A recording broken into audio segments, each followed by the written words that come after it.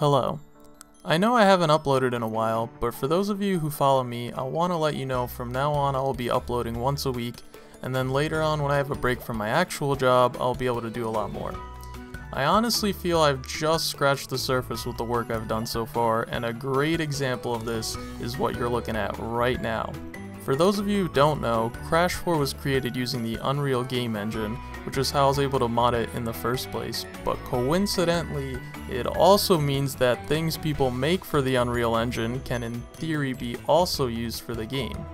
And this is where this level editor comes in. Within a few hours I was able to make it actually function in the game, so now people with no experience modding will be capable of creating levels and sharing them with their friends. I do want to preface this by saying this is still a work in progress, and that I also won't be able to just release this as the base for this editor was purchased from the Unreal Engine marketplace. What this means is that even though I remade this to function in the game, the editor in itself was created by someone who goes by the name First Content and can be purchased in the link down below.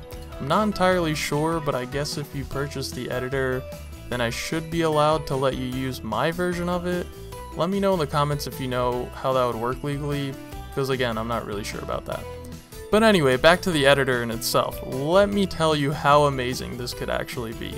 Not only can I use what comes standard with it for terrain, geometry, activities, and so on, but as you could tell from the video, you can also use ones from the actual game. I only added in a few so far, but that means you can spawn in crates, wall run sections, the jet board, enemies, and pretty much most things found throughout the entire game. The best feature by far though, is being able to save and load your level whenever you want to. This will let you create entirely new levels for the game, and you could even share them with your friends. I mean, I don't know how it could get much better than that. Alright, I think I said all that I could. But to end the video, here's a little obstacle course I made that took me over a hundred tries to beat. Yeah, I know I'm not great at the game. But with that being said, thank you for watching and enjoy the video.